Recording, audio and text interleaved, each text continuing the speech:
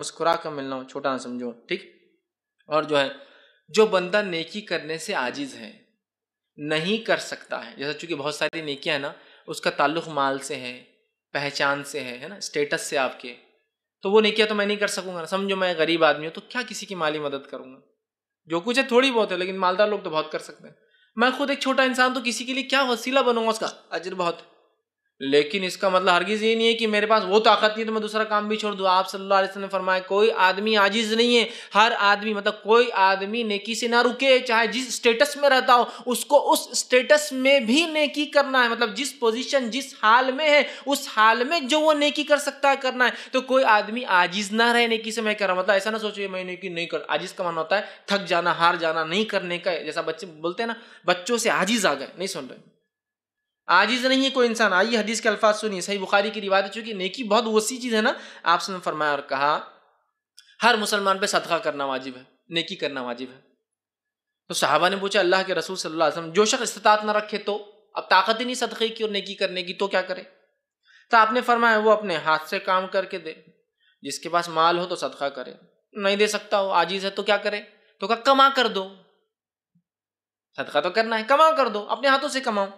जो शख्स ना रखे तो फरमाए आप अपने हाथ से काम करके और इससे अपने आप को भी फ़ायदा पहुँचाए और सदका भी करें। इन्होंने फिर सवाल किया, साहबा ने पूछा, दरियाफ्त किया, अगर वो भी ना कर सके तो उतनी भी ताकत नहीं कि कमा के खुद का भी कर सके, दूसरों का भी कर सके तो रखे तो। आपने फरमाया, वो किसी जो है, ऐसा इंसान जो गमजदा है, जो हाजतमंद है, इसकी मदद करे, पैसे से नहीं कर सकता सदका दे के, फ़िज़िकल करे। मदद करे। आप क्या मसला, ये मसला, देखिए, पैसा तो नहीं है। चलिए, मैं आपको उठा के वहाँ तक वो कर देता हूँ। चलिए, मैं आपका ये कर देता हूँ, ये कर सकता हूँ। तो कहा फिर हाजतमंद की मदद करे। इन्होंने फिर सवाल किया, अगर इसकी भी ताकत नहीं तो मतलब फिजिकली वीक है। पैसा भी नहीं फाइनेंशियल वीक फिजिकली वीक मिसाल के तौर पर एक आदमी गरीब है और माजूर भी, खुद ही माजूर है बेचारा।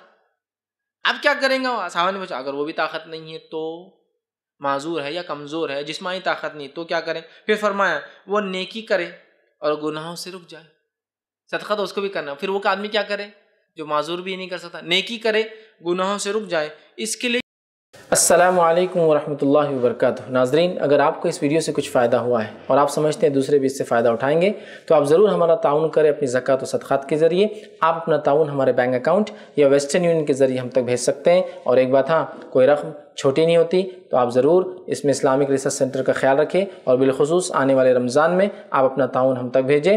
अल्लाह ताला आपकी जान और माल में बरकत फ़रमाएँ। असल वरहमल वर्का